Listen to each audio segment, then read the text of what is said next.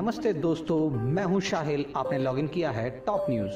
हमारी टीम की मेहनत अगर पसंद आए तो चैनल सब्सक्राइब कर पास में मौजूद बेल के बटन को दबाएँ। धन्यवाद। सरकार भले ही खुले में सोच मुक्त को लेकर लोगों के शौचालय निर्माण हेतु पैसा पानी की तरह बहा रही हो, लेकिन ग्राम प्रधान व ग्राम विकास अधिकारी अपने कार्यशैली से सरकार की योजनाओं पर खुला ग्रहण लगाते हुए अक्सर नज़र आ ही रहते हैं। यूपी के श्रावस्ती ज़िले के विकासखंड किलोला के ग्राम पंचायत। मोहरनिया में अब भी लोग सोच के लिए बाहर जाते हैं क्योंकि उनके एक मजरे में शौचालय का नामो निशान तक नहीं है।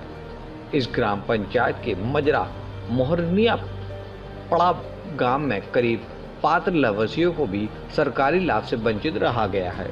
जहाँ शौचालय न होने से इस गाँव के लोग आज भी खुले में शौच को जाने को मजबूर हैं। शासन और प्रशासन के लाख दावों के बावजूद ये गाँव शौचालय विहीन है, क्योंकि पूरे गाँव में एक भी शौचालय आपको देखने के लिए नहीं मिलेगा।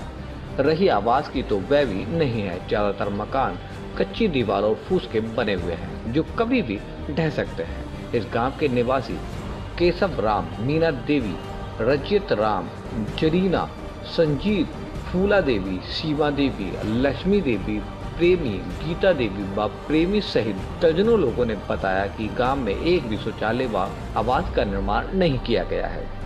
ग्राम प्रधान रामराज का कहना है कि हमने इतनी बड़ी आबादी में मात्र 300 शौचालय मिला है। हम किसको दें किसको ना दें? अब यहाँ एक और सरकार घर घर शौचालय बनवा कर लोगों को खुले में सोच मुक्त कराने हेतु प्रशासन द्वारा प्रचार प्रसार युद्ध स्तर पर किया जा रहा। तो वहीं दूसरी ओर गाँवों में शौचालय न होने से इस योजना पर पलिता लगता हुआ नज़र आ रहा।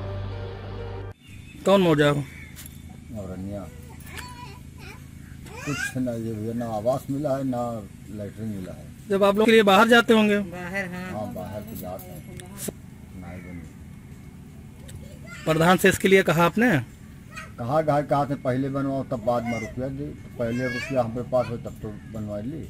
सवस्ती से टॉप न्यूज़ के लिए प्रदीप गुप्ता के साथ कैमरामैन संतोष शाहू की रिपोर्ट। देखते रहिए टॉप न्यूज़। जय हिंद बंदे मातरम।